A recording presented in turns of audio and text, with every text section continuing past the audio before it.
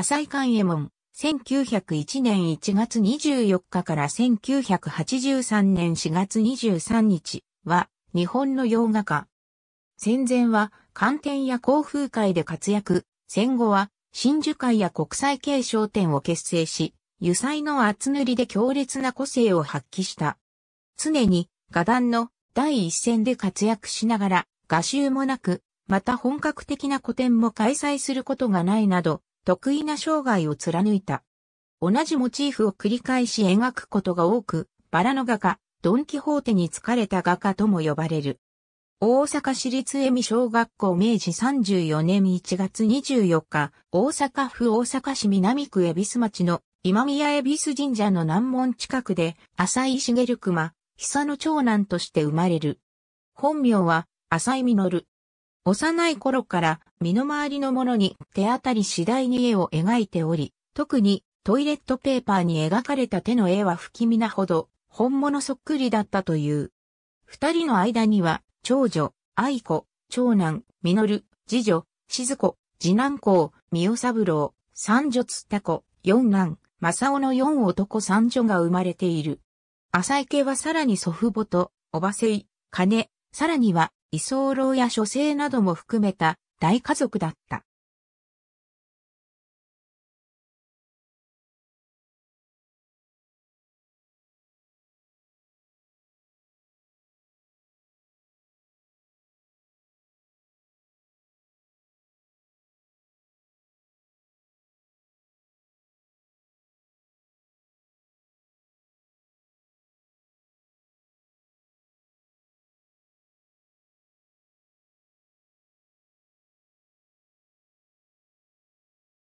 重熊は、明治9年2月15日、大阪府西成郡南波村大技南波で、浅井聖五郎、菅の次男として生まれたが、長兄、常太郎が要請したため家督を相続した。浅井家は、紀州藩士の家柄で、実が生まれる、以前の本籍地は、和歌山県和歌山市畑屋敷岩義邸。聖五郎は、嘉永五年に、祖祖父、浅井聖右衛門、ひいばば、幾の長男として同地に生まれたが、廃藩置県に伴って大阪に移住し、堺の浜寺に水蓮道場を開いたほか、重熊と共にメリアス再生工場や貿易商を営み、士族の商法ながら事業は一時期流星を極めたという。明治40年4月、大阪市恵美第一尋常高等小学校に入学。しかし、生来の虚弱体質のため思うように登校できず、教育は主に家庭で行われていた。大正2年3月、同校尋常科を卒業し、4月に高等科に進学する。この頃浅井家に不和が生じ、祖父母やおばたちは両親と別れ、南区馬淵町に分家する。大正3年3月18日に両親が協議離婚し、父は北の新地の芸者活を5歳とする。大正4年3月、大阪市恵美第一尋常高等、小学校高等科を卒業する。この年、父は事業に失敗して、広島に移住し、広島県広島市神谷町に、養殖や、ことぶき、ホラッケを営む。この頃、一時期広島県立広島商業学校に通っていたというが、学生規模などの記録にはない。みゆきの浜実は義母活と折り合いが悪く、家にあまり寄りつかず、親戚や知人の間を転々とする流浪の生活を送るようになる。浅井が後年語ることには、10代の終わりから20代前半にかけて宗教に凝ったり哲学に凝ったりした時期があり、長谷川如瀬館の家に出入りしていたこともあるという。大正8年、広島で交友していた後の陶芸家、河野公平と共に上京。東京府北豊島郡日暮里町に住む叔父、吉田次郎八とその妻、正のもとに身を寄せ、一時的に岡田三郎介の本郷洋画研究所に学ぶとともに、斎藤よりにも指示する。大正9年1月19日に父が死去したため、11月に家督を相続する。大正14年に再び上京し、翌年9月、第13回二課美術展覧会で20号の風景が肺炎にお手が初入選する。この時すでに浅井寛右衛門の画号を使用していた。大正15年、厚生大学文科を中退。昭和3年頃、小田原に移住する。三雪の浜の海水浴場でスケッチをしていたところ、神経衰弱のため小田原の実家に帰省していた小説家、牧野真一と出会い、牧野の出世作、父を売る子を読んでいたこともあって、すぐに意気投合する。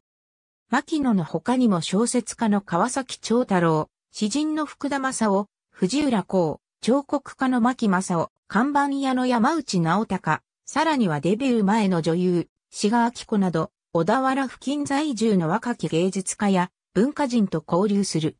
また、文芸春秋昭和5年4月号に掲載された、牧野の一文、朝居の話には、浅井暇太郎の名で登場する。昭和7年頃、甲府会会員、平岡権八郎の地遇を受け、東京府東京市京橋区30軒堀の朝日石渡ビルの5階にあった彼のアトリエに居候する。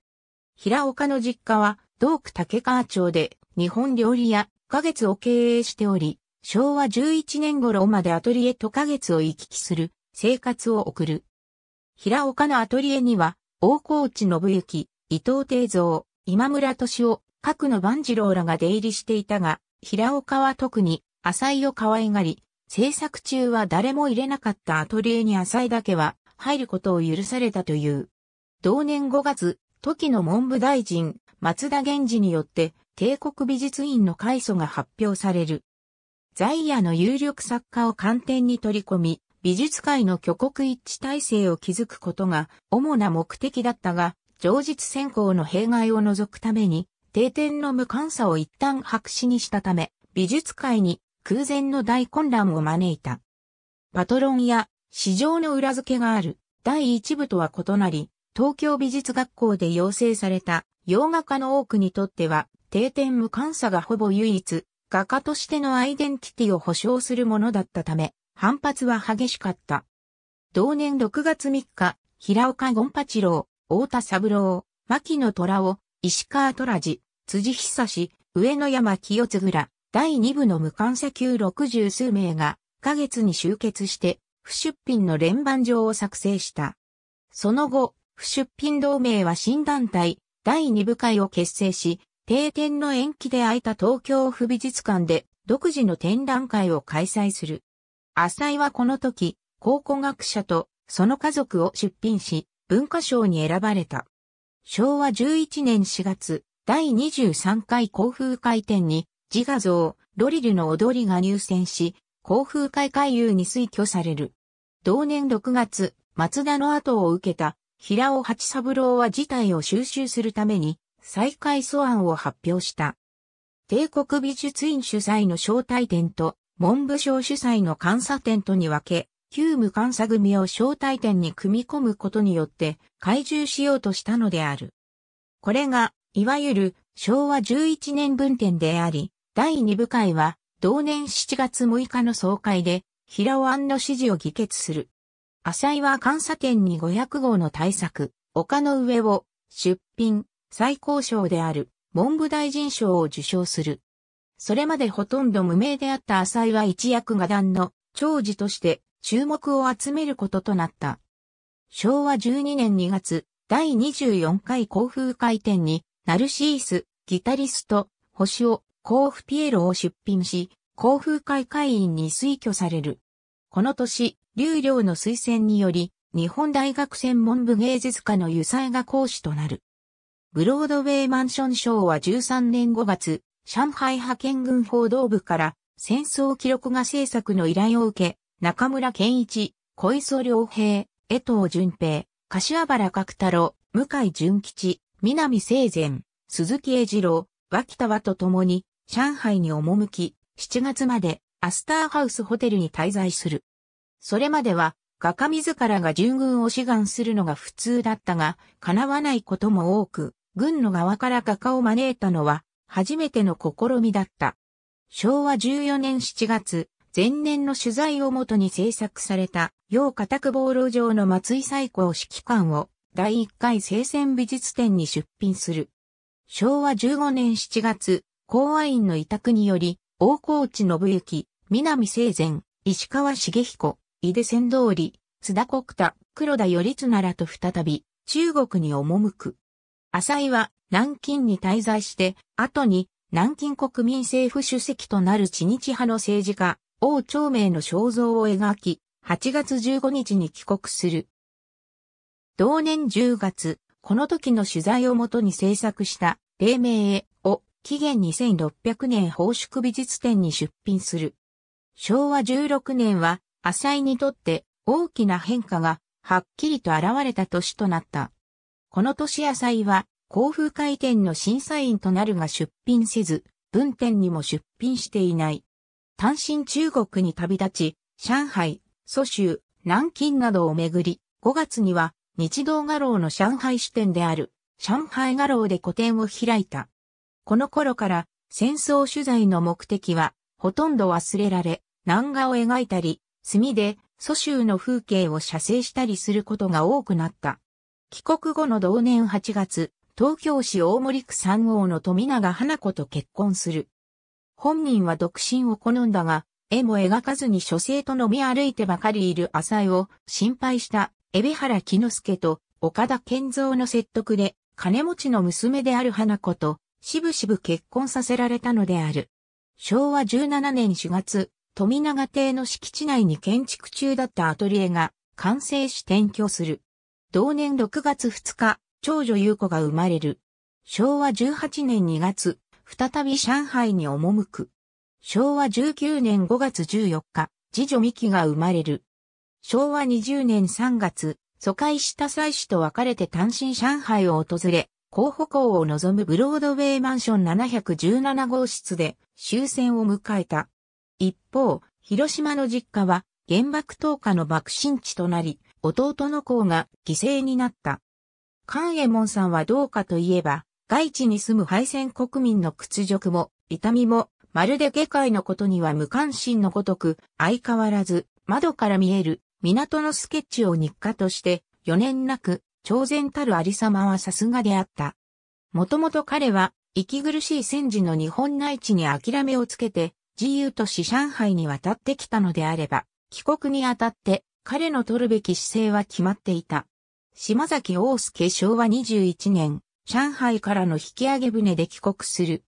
伊藤定蔵ら友人知人の間を転々とした後、咽頭疾患により、神奈川県横須賀市三号町の添島院に入院し、手術回復後もそのまま居候する。昭和22年、添島医院の患者だった石森茂雄から横須賀市田浦の二軒長屋を譲り受け、半分をアトリエに改造、半分を住居とし、以後20年をここに一人で暮らす。同年3月、井出線通り、伊藤定蔵、大河内信之、川端実、黒田頼綱、山口武彦、南聖前、鈴木栄次郎、須田国太らと共に、真珠会を結成する。昭和25年、前年から不出品の交風会を大会する。昭和36年、鳥海誠治、海老原木之助、林武史、森義夫、野口弥太郎、小木須隆則、岡鹿之助、高畑達志郎、山口薫らと共に国際継承展を組織する。昭和41年、20年にわたり、住んだ田浦のアトリエを引き払い、神奈川県鎌倉市由比ヶ浜に転居する。脊髄の病気を相談した医師、中山恒明から山の影になっていて、寒い田浦を避け、日差しが良くて暖かい場所に住むよう助言を受けたためで、ある。昭和43年4月、長らく別居していた妻花子と正式に協議離婚する。同年11月9日、浅井寛右衛門を戸籍上の使命とする。昭和51年8月の第30回真珠会展をもって真珠会を解散する。昭和53年9月、自宅の浴室で転倒し右足を座礁する。足は、その後回復したものの再び転倒していため、歩行に支障をきたすようになる。この頃、田浦時代から、自家弟子として自宅に出入りししていた、門倉義恵と同居するようになる。昭和58年、たびたび狭心症の発作を起こしながらも、3月末から、バラの加筆仕上げに取り掛かり、10回余りで完成。これが絶筆となる。生命の灯火が今にも燃え尽きようとしている人の作品とは決して思えない。壮烈な戦士であった。画家が命の最後の力を振り絞って描いた絵が人々を感動させないはずがない。長谷川徳七極楽児童年4月19日、稲村ヶ崎の恵み風園胃腸病院に入院し、4月23日午後7時35分、同病院にて死去。去年82歳。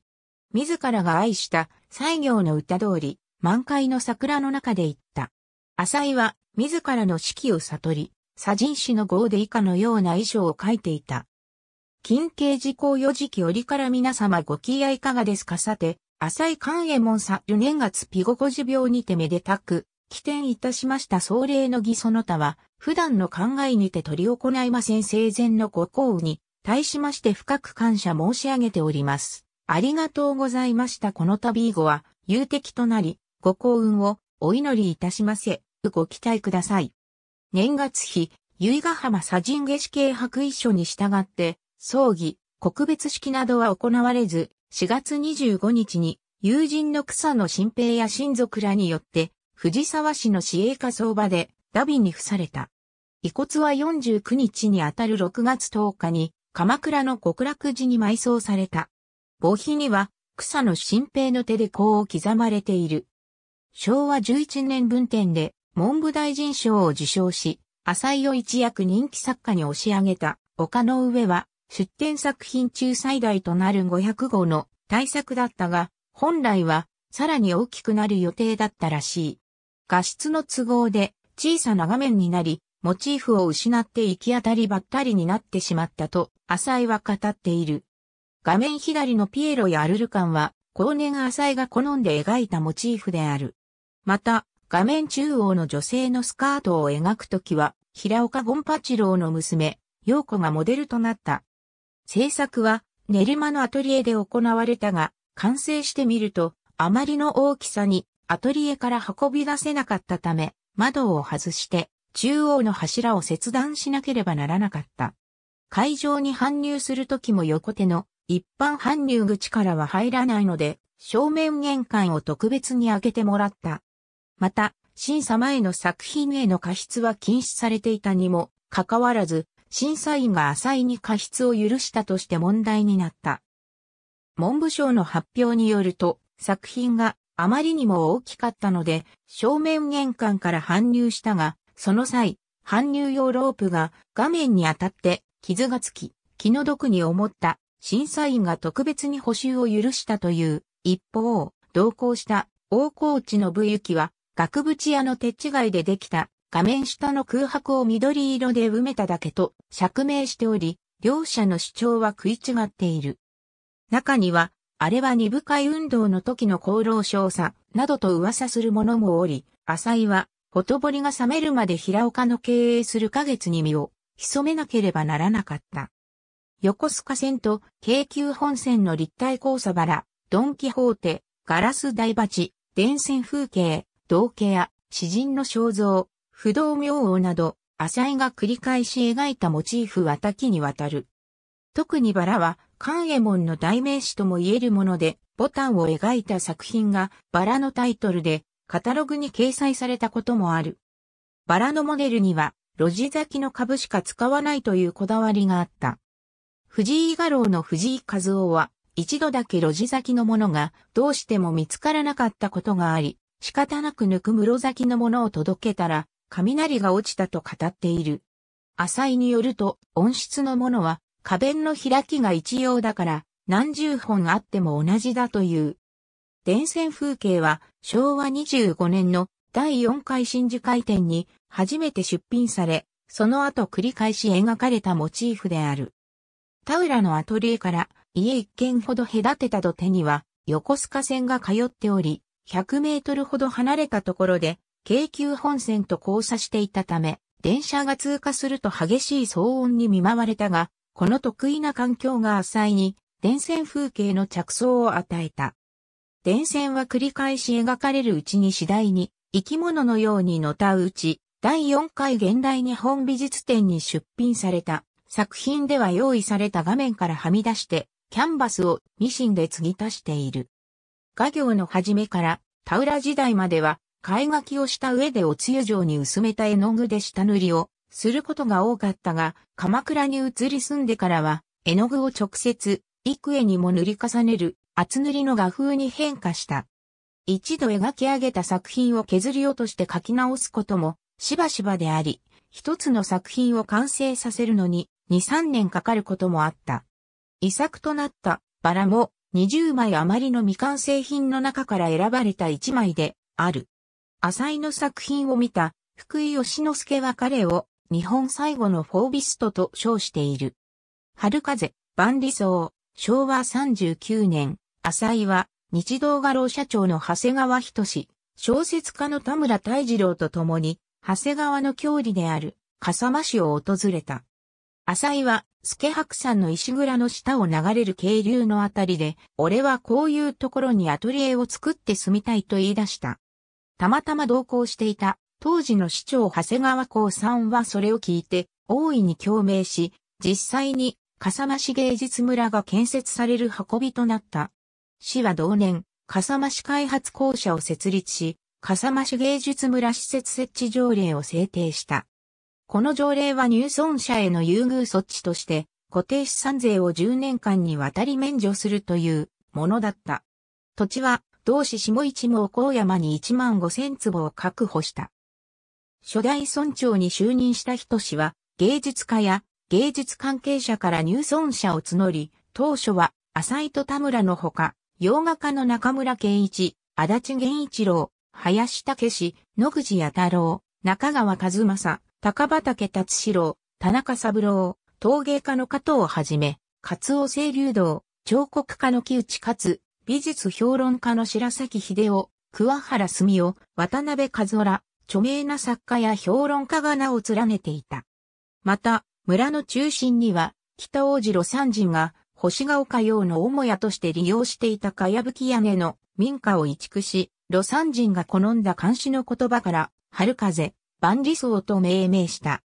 しかし、昭和43年に市は財政上の理由から土地を日動画廊に引き継ぎ、同46年には条例を廃止せざるを得なかった。また、入村者は土地を買っただけで、一向にアトリエを建てようとはしなかった。土地が登記の対象になることで、村の育成が阻害されることを危惧した人氏は、名目上の入村者から土地を買い戻し、2年以内にアトリエを建てることを条件に土地を貸し出すことにした。人氏の努力の甲斐あって、年々若手の入村者が増えていき、現在は40個ほどのアトリエが村内に点在している。結局、浅井自身が芸術村に移り住むことはなかったものの、彼の何気ない冗談が市長を動かし、市を挙げた一大事業につながったのである。参考文献に掲げたものを除く。注釈出展作品展覧会ニュース。ありがとうございます。